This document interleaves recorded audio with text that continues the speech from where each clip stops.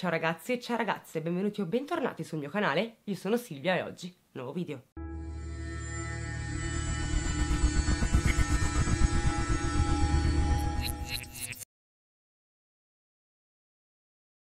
Come al solito ragazzi vi ricordo che se avete piacere potete anche seguirmi su Instagram. Detto questo, andiamoci dentro col video. Oggi voglio parlarvi di un caso che molti di voi mi hanno richiesto. In questo video parliamo di Lacey Elizabeth Spears. Questa donna si è macchiata di un crimine terribile, imperdonabile, il peggiore. E se conoscete e apprezzate la storia di Didi e Gypsy Rose Blanchard, o ancora dell'infermiera Beverly Hallett, vi consiglio di rimanere con me fino alla fine. Partiamo dunque dall'inizio. Chi è Lacey Spears? Lacey nasce il 16 ottobre del 1987 alla base dell'aeronautica militare di Castle, ad Adweather, in California. Lacey è la più piccola dei tre figli di Tina e Terry Spears. Sua sorella si chiama Rebecca Ann e nasce nel 1984. Infine c'è suo fratello, Daniel Joseph, che viene alla luce esattamente 18 mesi dopo. Appena Lessi ha sei settimane, la base aeronautica in cui è venuta alla luce chiude. Loro padre Terry di conseguenza lascia il lavoro e tutta la famiglia si trasferisce a Decatur, in Alabama. Decatur è situata sulle rive del fiume Tennessee, nell'Alabama centro-settentrionale. La popolazione è di 55.000 abitanti e si trova nel cuore della Bible Belt. Dovete sapere che questa zona ha una chiesa in ogni angolo della strada. La famiglia Spears si stabilisce nella casa del ranch dei genitori di Tina. I nonni di Lacey, Rebecca Ann e Daniel Joseph si chiamano Paul e Peggy Florence. Terry trova quindi ben presto un lavoro come saldatore, mentre invece Tina rimane a casa per occuparsi dei suoi tre figli. Terry e Tina sono comunque una coppia stabile, però Lacey, crescendo, si trova spesso in disaccordo con suo padre, mentre giudica sua madre come una donna fredda e poco affettuosa. C'è da dire che entrambi i genitori di Lacey hanno gravi problemi di salute. Tina alla sola età di 22 anni ha dovuto fare i conti con il diabete di tipo 1, di cui poi ha sofferto per tutta la sua vita, mentre Terry soffre di celiachia e ha il morbo di Crohn. Nonostante tutto, nonostante anche i problemi di salute, Terry lavora duramente per mantenere la sua famiglia e per non far mancare nulla in casa. Lacey fin dall'infanzia ama giocare con le bambole. Trova il loro del conforto, tanto che inizia a collezionare tante bambole di American Girl. Col tempo inizia a lavarle, a vestirle, a parlare con loro, le tratta come se fossero sue figlie. Arrivata a 5 anni, Lacey si unisce alla scuola materna di Decatur che si trova in Tammy Street. Andando all'asilo, Lacey si affeziona a Mallory McWhorter. Diventano praticamente amiche inseparabili. Lacey va spesso a casa di Mallory, ma non avviene mai il contrario, in quanto la madre di Mallory ha una strana sensazione riguardo quella famiglia. Di conseguenza non vuole che sua figlia frequenti casa Spears. Però poi arriva un giorno, un giorno in cui Mallory riesce a convincere sua madre a farla andare a casa di Lacey. Peccato che la situazione non finisca affatto bene. Infatti le ragazze sono in camera di Lacey, e Lacey prova a strangolare Mallory. Le mette letteralmente le mani al collo e quando la madre di Mallory va a riprenderla, vede chiaramente i lividi sul suo collo. Chiede quindi alla figlia cosa sia successo e la figlia le racconta tutto. Ed è proprio questa situazione che convince definitivamente la madre di Mallory. Sua figlia deve stare lontana dalla famiglia Spears. Il tempo intanto passa, Lacey ovviamente continua a crescere e in terza elementare, diventa una grande amica di Jessica Kyle. Inizialmente le due non vanno molto d'accordo, però pian piano si rendono conto che hanno delle passioni in comune, come ad esempio le bambole. Ed ecco quindi che stringono amicizia. Lacey e Jessica amano prendersi cura delle loro bambole come se fossero loro figli. Il punto è che Lacey quasi sviluppa un'ossessione, le sue bambole le porta ovunque, nel passeggino, in giro, al centro commerciale, al parco. Quando lei si frequenta la quinta elementare, suo nonno viene a mancare. Quindi sua nonna Peggy decide di trasferirsi a Clearwater, in Florida per vivere con suo figlio Toby. I tre fratelli Spears chiamano Toby in modo affettuoso zio Bo e negli anni successivi vanno spesso a Clearwater. Lei si ama molto il clima della Florida, ama la spiaggia e quindi sogna di andare a vivere lì un giorno. Tutti quanti adorano immensamente lo zio Bo. Alla fine è un ragazzo che ama divertirsi e porta spesso i tre fratelli Spears a fare dei giri sulla sua auto sportiva poi li porta al mare, gli insegna a fare immersioni. Spesso anche Peggy e lo zio Bo vanno a trovare la famiglia Spears in Alabama, a Decatur. Quando lei si ha circa 12 anni si presenta nel cuore della notte a casa di Jessica Kyle, la sua amica. Lei si appare spaventata. Dice alla madre di Jessica, ossia Lisa Kyle, che ha subito violenza da un suo parente ed è troppo spaventata per tornare a casa. Lisa, preoccupata, riferisce l'avvenimento al Dipartimento delle Risorse Umane, ma non c'è traccia di eventuali indagini successive. Nelle settimane seguenti, Lacey si trasferisce a casa di Jessica e inizia a chiamare la madre di Jessica, Lisa, mamma. Arriviamo all'inizio del 2002, quando Lacey, che ormai ha 14 anni, inizia a frequentare la Parkview Baptist Church. Si unisce alla squadra di softball e durante gli allenamenti settimanali fa amicizia con Paula Standlin. La donna segue gli allenamenti della squadra e Lacey si lega così tanto a lei che inizia a chiamarla mamma. Ma c'è qualcosa in più. In questo periodo Lacey è solita inventarsi delle storie davvero assurde. E più va avanti il tempo, più le storie che racconta risultano davvero inverosimili. In un'occasione precisa entra in chiesa con addosso un tutore alla caviglia e racconta a tutti che è caduta e si è fatta male durante delle prove con le cheerleader. Poco dopo però la sua storia cambia. Sostiene di soffrire di disturbi alimentari. Ecco perché durante quelle prove è caduta a causa della mancanza di cibo. Lei si afferma quindi di essere caduta perché non si nutriva da ben tre giorni. Però c'è un problema perché delle sue compagne l'hanno vista chiaramente il giorno prima consumare un hot dog. Ovviamente a questo punto Lacey non può negare. È messa davanti all'evidenza, l'hanno vista. Quindi dice che in realtà è vero, ha mangiato quell'hot dog, ma ha mangiato solo quello dog. Arriva l'estate e con l'estate lei si inizia a raccontare un'altra storia in giro, ossia sostiene di essere incinta. Paola Stanlin, la sua insegnante di softball, le chiede cosa abbia intenzione di fare, considerando che il liceo sta per cominciare. Lei si dice che non lo sa, però, pochi giorni dopo, sostiene di aver abortito in un centro medico a Birmingham, in Alabama. Peccato che quel centro medico non pratichi aborti. Non l'ha mai fatto. Quando più persone fanno presenti a Lessi questa cosa, la ragazza cambia versione. Non ha abortito in Alabama, è andata in Florida. Nel 2002 lei si inizia il suo anno di matricola alla Decatur High School. Mallory McWhorter ha preso di vista Lacey dalla prima elementare, in quanto sono state mandate in scuole primarie diverse e non sono state mandate in scuole primarie diverse casualmente. Era la mamma di Mallory che non voleva assolutamente che sua figlia frequentasse le elementari con Lacey, però ora si sono rincontrate. È così che riprendono a parlare, passano del tempo assieme e ritornano amiche. Però a questo punto Mallory nota un cambiamento evidente in Lacey. Ora desidera l'attenzione e l'approvazione dei suoi insegnanti.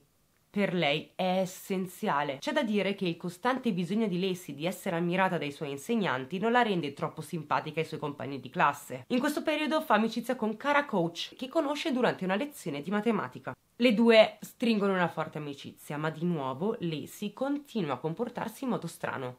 Scherza sul fatto che assume pillole dimagranti come caramelle. Inoltre sostiene anche di assumere, un po' come gli pare, l'Adderal, che è un farmaco soggetto a prescrizione usato per il trattamento del disturbo da deficit di attenzione o di iperattività. Inoltre viene anche utilizzato per la narcolessia, con dosi elevate di Adderall, senza quindi seguire le dosi terapeutiche, è possibile, ahimè, compromettere il controllo cognitivo, generando paranoie che possono anche sfociare in psicosi nei casi più gravi. Si racconta a Cara Coach, la sua nuova amica, che è molto infelice a casa, in quanto non riesce a comunicare con sua madre e sua sorella, suo padre poverino ha subito da poco un trapianto al fegato, per di più c'è un membro della famiglia che fa violenza su di lei. Durante tutto il liceo lei si ripete di subire violenza da un parente ma non solo. Lacey ripete spesso anche di voler diventare madre. Verso la fine del suo percorso di studi inizia a fare volontariato presso l'asilo nido della Chiesa Battista di Parkview. Lacey è brava, si prende cura dei bambini, ma a un certo punto inizia a notare un bambino particolare e inizia a star dietro molto a questo bambino, che si chiama Charlie. Col tempo la madre di Charlie si lamenta con l'asilo dicendo che lei si la rende nervosa perché suo figlio torna a casa e le racconta cose strane, quindi non vuole che Charlie entri di nuovo troppo in contatto con quella ragazza. Arriviamo a 26 maggio del 2006. Leslie ormai ha 18 anni e si diploma alla Decatur High School. Subito dopo il diploma si trasferisce con sua sorella in un appartamento con due camere da letto. Leslie e Rebecca però pur comprando casa non si allontanano dalla casa dei genitori, che dista poco meno di 100 metri. Così Leslie in quel periodo inizia a lavorare all'asilo nido Kids Club a Decatur proprio per poter pagare la sua parte d'affitto ogni mese. Anche Rebecca lavora in un asilo nido locale, però dall'altra parte della città. Leslie all'asilo di nido stupisce tutti, ha un entusiasmo sconfinato. Riesce addirittura facilmente a prendersi cura di 5 bambini per volta. Nell'ottobre dello stesso anno, Leslie si iscrive ad un corso di infermieristica al Calhoun College dicendo a tutti i suoi amici e conoscenti che il suo grande sogno è proprio quello di diventare un'infermiera. In classe incontra una giovane madre single di nome Christy Branham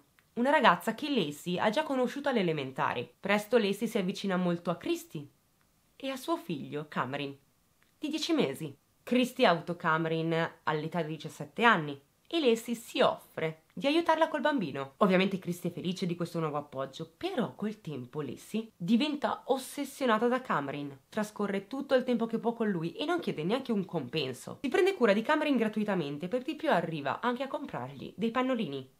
Ma non si ferma qui. Lacey arriva a comprare per Cameron un seggiolino per auto e una culla tutto di tasca sua. Ogni volta che Lacey porta Cameron in giro, finge di essere sua madre. Infatti, quando è Christy a prendersi cura di suo figlio, viene fermata da qualche conoscente che le chiedono se per caso sta tenendo il bambino di Lacey. Ovviamente Christy rimane perplessa e dice a tutti che quello non è il figlio di Lacey, è suo figlio. Lacey si prende cura di Cameron per sei mesi e proprio in questo periodo di tempo il bambino inizia a soffrire di infezioni alle orecchie che ovviamente richiedono cure mediche. Arriva primavera del 2007, è un sabato mattina e si prende Cameron per prendersi cura di lui durante il fine settimana. Peccato che poi Lacey scompare. Quando Christy non vede Lacey e suo figlio tornare per domenica sera, inizia ovviamente a preoccuparsi e chiama chiunque per chiedere spiegazioni. Peccato che nessuno li abbia visti. Lunedì Christie riesce a mettersi in contatto con Lacey e le ordina di riportarle immediatamente suo figlio. Quando Lacey si presenta da Christie, quest'ultima le dice che non avrebbe mai più curato suo figlio. Lacey a questo punto scoppia in un pianto disperato, chiede scusa a Christie e piangendo la supplica dicendo ti prego non portare via Cameron da me.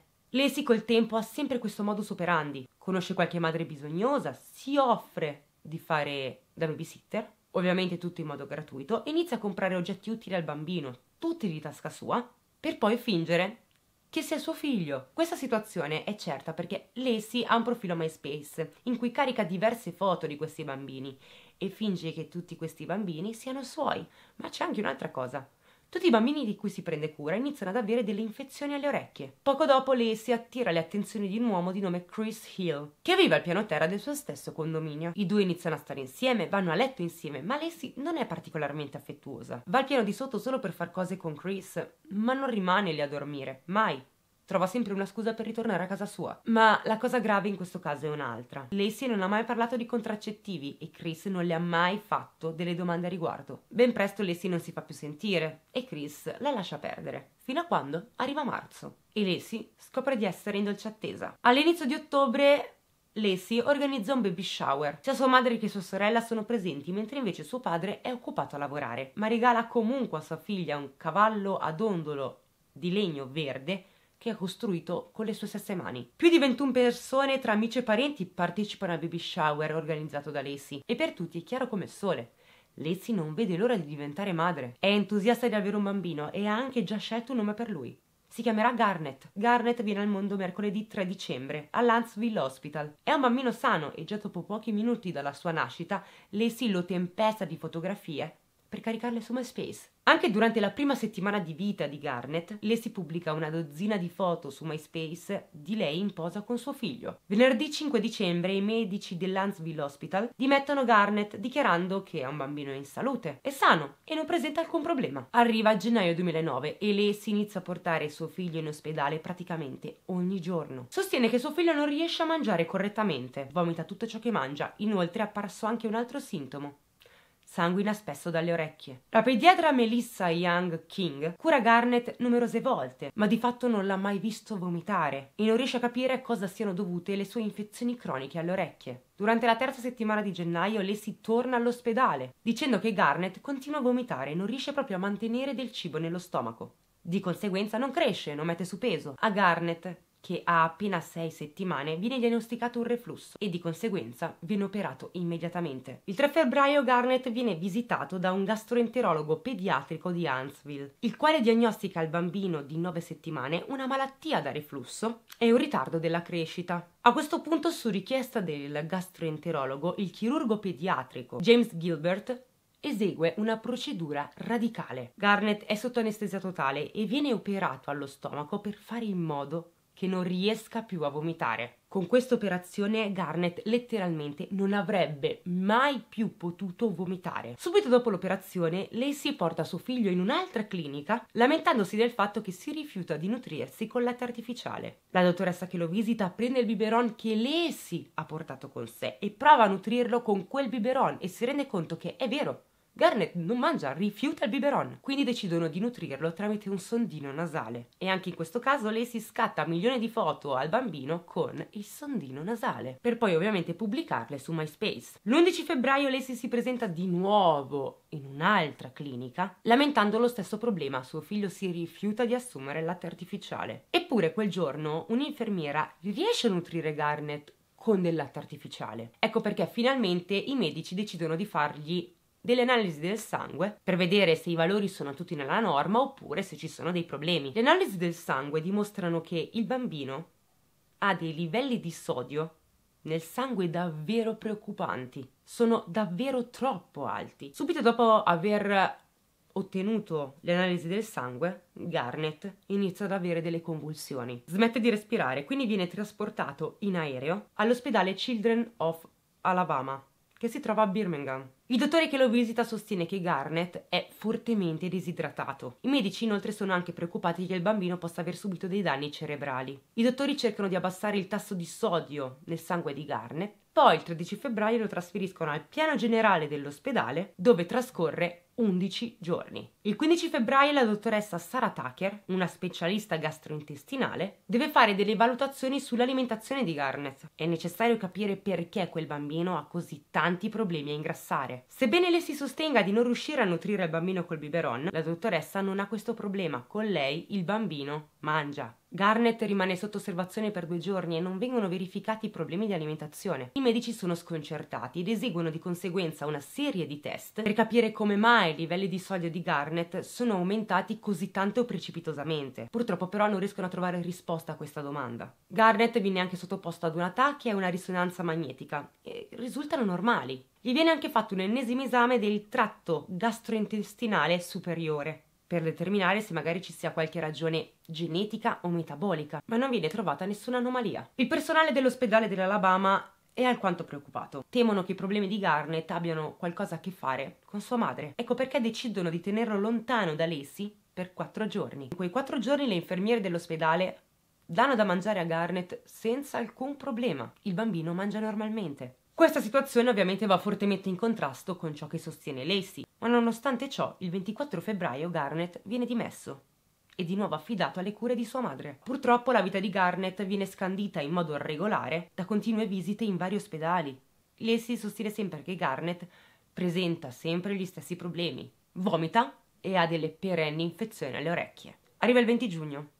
Lacey porta di nuovo in ospedale Garnet che è in condizioni davvero tanto critiche. Ecco perché ancora una volta i medici decidono di trasportarlo al Children's Hospital a Birmingham. Questa volta Garnet non perde solo sangue dalle orecchie, ma anche dagli occhi, dal naso e dalla bocca. All'arrivo Garnet viene immediatamente ricoverato e trascorre i giorni successivi sotto osservazione. Quattro giorni dopo subisce un'altra operazione e Lessi, anche in questo caso, non manca di fargli centinaia di foto per poi caricarle su MySpace. Mette in evidenza il fatto che suo figlio non stia bene, pare quasi che lo voglia ostentare. Ormai c'è da dire che le foto che Lacey posta su MySpace mostrano suo figlio che giace malato in un letto d'ospedale in continuazione. Il 23 settembre Lacey crea un account su Twitter per tenere aggiornato lo stato di salute di suo figlio. Arriva venerdì 16 ottobre. Lacey compie 22 anni.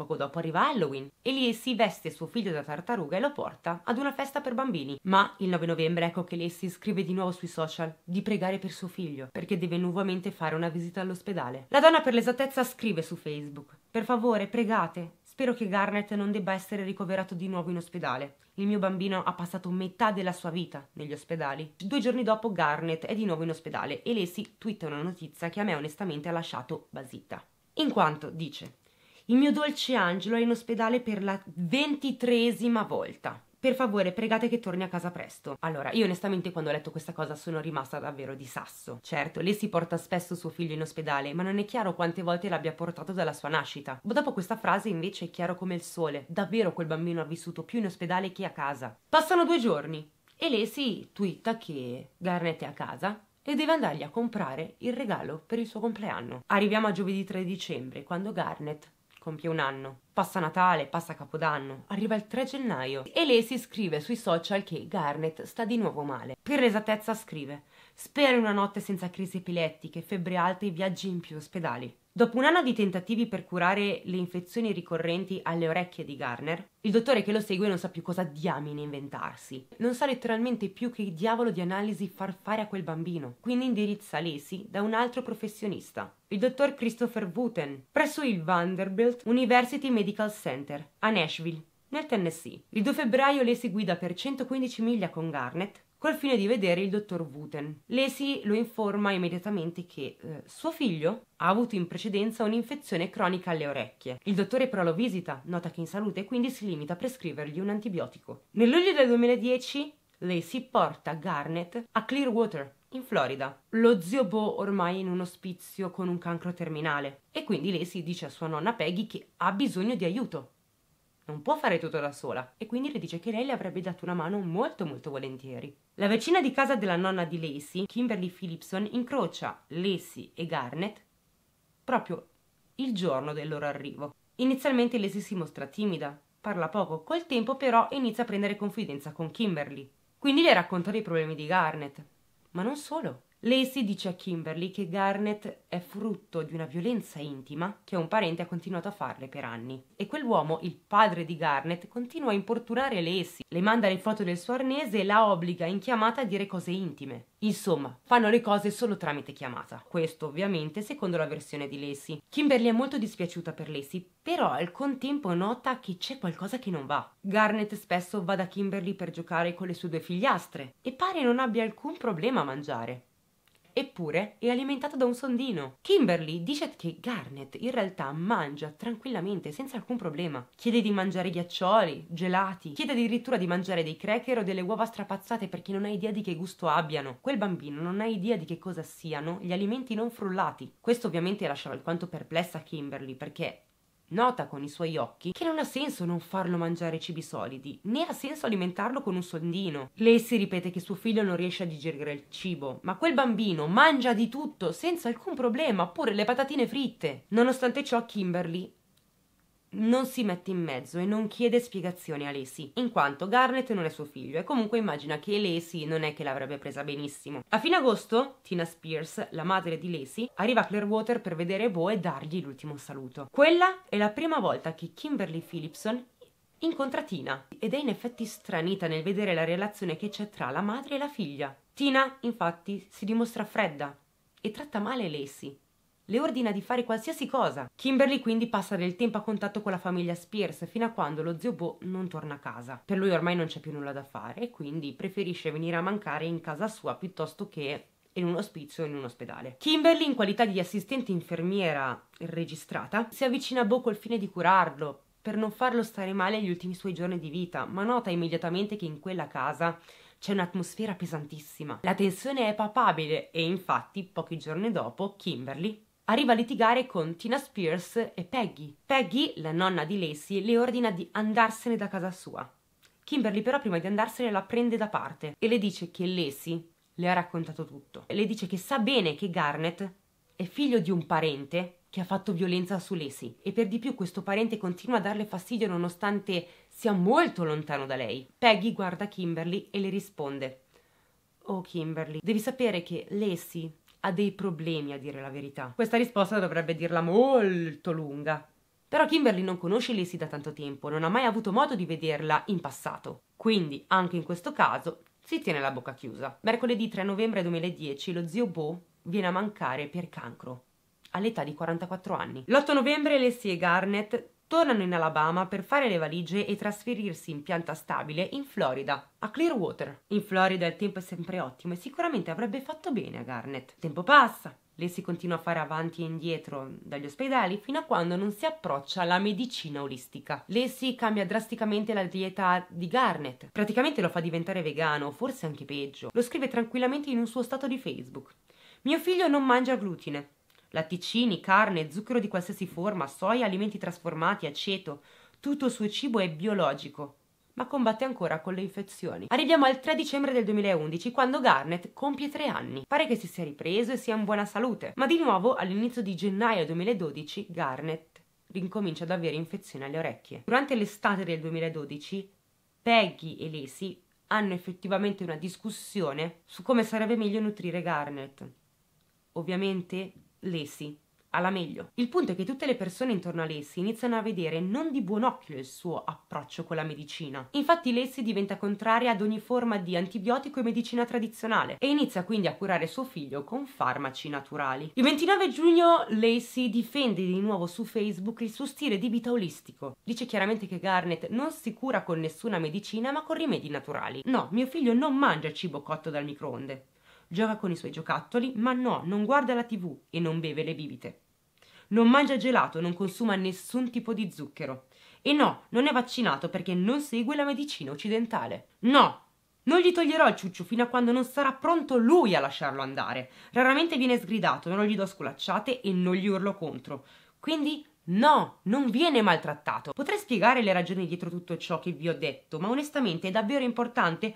No, ciò che conta è che è mio figlio, l'ho partorito io, lo sto crescendo io e vi assicuro che alla fine della giornata è nutrito, è felice, lo metto sempre al primo posto e lo amo più della mia vita. Il tempo continua a passare fino a quando Lacey non viene a sapere della scuola di Waldorf che ha sede nel Maryland. Questa scuola è stata fondata nel 1919 da Rudolf Steiner. L'educazione Waldorf integra i valori olistici con lo sviluppo accademico degli alunni. Lei si studia online il sistema educativo della Waldorf e conclude che quello sarebbe stato lo stile di vita perfetto per lei e Garnet. Si trova anche interessante la Green Meadow Waldorf School, che si trova a Chestnut Ridge. Più precisamente questa scuola si trova a New York, in un terreno della Fellowship Community. Se lei si avesse lavorato per la comunità, ossia per la Fellowship, avrebbe ricevuto in cambio vitto e alloggio gratuito, oltre a un'istruzione per Garnet nell'istituto privato Green Meadow. Domenica 4 novembre 2012, Lacey e suo figlio Garnet arrivano a Chestnut Ridge,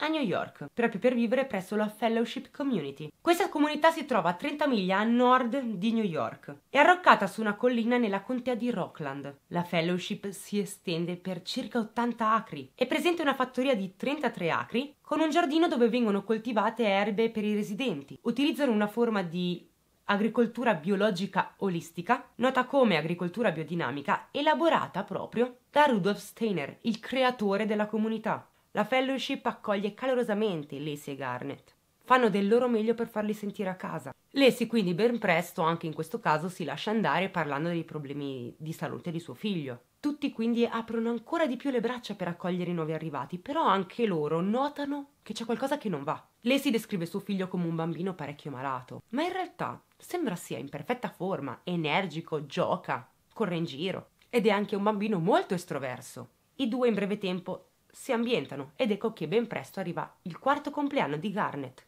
All'inizio del gennaio 2013, Lacey si sente completamente parte della comunità di fellowship e a partire dall'autunno seguente, Garnet avrebbe iniziato a frequentare l'asilo al Green Meadow. Nella seconda settimana di febbraio a Chestnut Ridge nevica e nevica anche tanto e Lacey scatta diverse foto di Garnet sullo slittino in mezzo alla neve per poi postarle come al solito sui suoi social. Il punto è che anche in questo caso le persone che la seguono sui social specialmente quelle che la conoscono anche dal vivo, notano ci sia qualcosa che non vada. Lacey ripete che Garnet è malato, che ha continue infezioni alle orecchie, che non sta bene. Poi però Due giorni dopo pubblica foto del bambino che gioca in mezzo alla neve. Garnet continua comunque a vivere con sua madre nella comunità di fellowship. Non smette però di avere i suoi soliti problemi di salute. Arriva il 17 gennaio del 2014. Garnet, circa un mese dopo il suo quinto compleanno, ha una crisi convulsiva e di conseguenza viene portato d'urgenza all'ospedale. I medici lo sottopongono a diversi esami che sperano faranno luce sulla natura delle crisi di Garnet. Intanto i post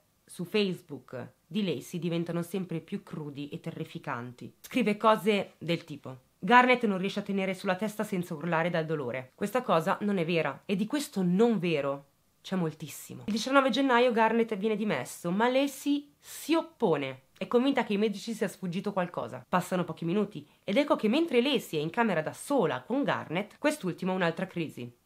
Questa volta però smette di respirare. Viene nuovamente aerotrasportato in una unità di terapia intensiva specializzata nell'ospedale per bambini di Valhalla. Le condizioni di Garnet sono critiche. Cercano di stabilizzarlo, ma non hanno ancora una diagnosi per la sua malattia. Ed è così che decidono di contattare la polizia finalmente. Il dottore che ha seguito Garnet spiega alla polizia che il bambino ha avuto un grave trauma al cervello. Praticamente è tenuto in vita da un respiratore. Il suo stato di salute preoccupante deriva da un picco del livello del sodio nel sangue. Però non vi è una spiegazione ragionevole per cui quella quantità di sodio sia presente nel sangue del bambino. In poche parole, L'hanno avvelenato. Garnet è attaccato al respiratore quando tre ispettori si ritrovano in ospedale e iniziano a indagare sulle condizioni del bambino. Cosa si cela dietro il misterioso collasso di Garnet? Gli inquirenti partono seguendo la pista della negligenza medica. Magari qualcuno ha sbagliato a somministrare qualche farmaco a Garnet o l'ha attaccato alla flebo sbagliata. Oppure ancora pensano che sua madre abbia utilizzato farmaci olistici senza sapere però come somministrarglieli correttamente, causando quindi il malessere del figlio in modo accidentale. Oppure c'è la peggiore delle ipotesi. Qualcuno l'ha avvelenato volontariamente. Le autorità iniziano perquisendo la casa di Lacey e appena entrano dentro si rendono conto che qualcosa non torna. Perché? Perché è tutto perfettamente in ordine. Non c'è un cuscino fuori posto. È strano che Lacey non abbia lasciato la casa in disordine, considerando la situazione d'emergenza. In quella casa è tutto in ordine troppo in ordine. Subito dopo i detective trovano i farmaci che lei si somministra a suo figlio ogni giorno e sono più di 150 farmaci olistici. Magari un componente di questi farmaci ha causato questa crisi a Garnet? Non è difficile pensarlo, visto quanti sono. Gli inquirenti quindi decidono di prelevare tutti i farmaci trovati a casa di Lacey per farli analizzare al laboratorio. La mattina dopo Garnet viene dichiarato cerebralmente morto. Ormai ogni speranza per la sua guarigione è svanita. Gli investigatori, intanto, sono ancora lontani dal capire cosa abbia causato l'aumento di sodio di Garnet. Non ci sono prove di una negligenza medica all'ospedale e i risultati del laboratorio non riporta tracce di sodio nei farmaci che hanno trovato nell'appartamento di Lacey. Gli inquirenti tuttavia ritengono che qualcuno sta nascondendo qualcosa, quindi decidono di interrogare tutta la famiglia Spears. Quando gli inquirenti osservano il rapporto che c'è tra Lacey e la sua famiglia, si rendono conto che è un rapporto davvero davvero strano. Il presentimento che qualcosa non vada quindi cresce sempre di più. A questo punto le autorità provano a contattare persone vicine alla famiglia Spears per capire se qualcuno può far luce sul loro comportamento. Un detective contatta Kimberly Phillipson, la vicina di casa di Peggy, la nonna di Lacey, a Clearwater, in Florida. Kimberly racconta tutto quello che sa alla polizia. Ha avuto modo di parlare con Peggy, la nonna di Lacey, ed è così che ha capito che tutto ciò che le ha raccontato Lacey è una balla. Kimberly sottolinea anche un fatto. Lacey ha sostenuto per lungo tempo di aver subito violenza da un parente. Lei quindi ha affrontato la nonna di Lacey, Peggy, per dirglielo. Peggy però gli ha risposto con una frase abbastanza esplicita. Perché le ha detto Kimberly, Lacey purtroppo non dice sempre la verità. È così che Kimberly dice tutto alle autorità e dice anche che con quella frase Peggy le ha fatto capire che tutto ciò che Lacey le ha confidato non è la verità. Niente è la verità. A questo punto la polizia pensa seriamente che Lacey possa essere coinvolta e controllando su Facebook scoprono che Lacey ha ben tre profili Facebook. Uno è il suo ed è reale. Gli altri due però sono due profili fake. Non a suo nome. Su internet Lacey sostiene di essere una balia che dona il latte a delle donne che non possono allattare i loro figli. Questa è una bugia. Afferma di aver avuto una brutta lesione al cervello al liceo quando faceva la cheerleader a causa di un disturbo alimentare.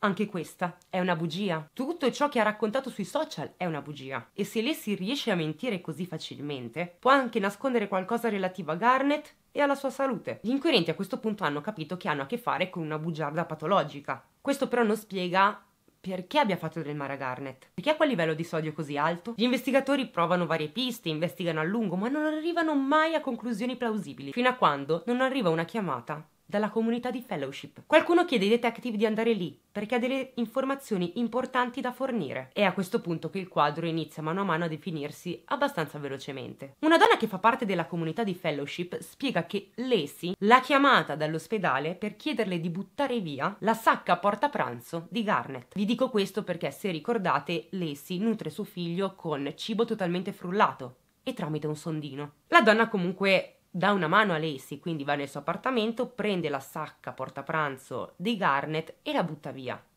Non si chiede neanche il motivo, in quanto a Fellowship ci si aiuta a vicenda. Sempre. Ma ora quella donna consegna la prima prova utile alla polizia.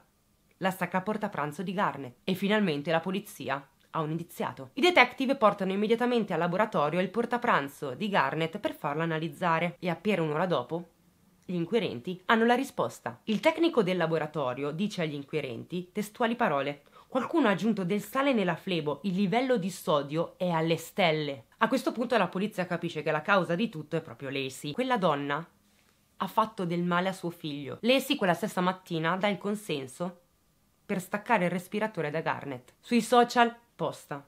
Il grande viaggio di Garnet è terminato oggi, alle 10.20. Ovviamente Lacey non sa che la polizia l'ha scoperta, quindi mentre recita la parte della madre addolorata per la sua community online, gli ispettori provano ad approfondire per cercare altre prove schiaccianti. A questo punto gli inquirenti provano a interrogare tutte le persone vicine a Garnet, fino a quando non trovano un'infermiera di fellowship che gli chiede se per caso hanno controllato il video dell'elettroencefalogramma. Gli inquirenti ovviamente non hanno idea che un macchinario per l'elettroencefalografia ha registrato ciò che ha accaduto al bimbo nei suoi ultimi istanti di vita. Gli ispettori quindi recuperano quel video e poi lo guardano. Si vede chiaramente Lacey che prende in braccio Garnet e lo porta in bagno, fuori dall'inquadratura. Poi torna nella stanza e dalla sua borsa prende un tubicino per l'alimentazione. Poi sparisce nuovamente dal video. Evidentemente si reca nuovamente in bagno. Infine Lacey torna dal bagno con Garnet in braccio lo mette a letto e si siede e sembra che sia in attesa. Fissa il bambino ed è chiaro che stia attendendo che accada qualcosa. Infatti, poco dopo Cookie Garnet inizia a scuotersi. Garnet prova a vomitare, ma non ci riesce a causa dell'operazione che ha subito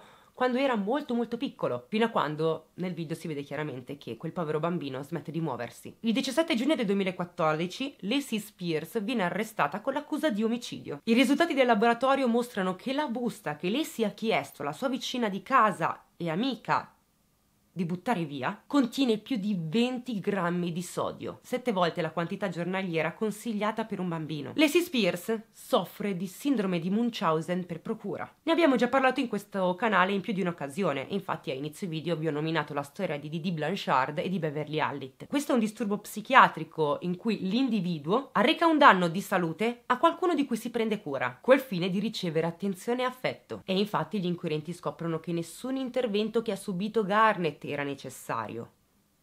Nessuno!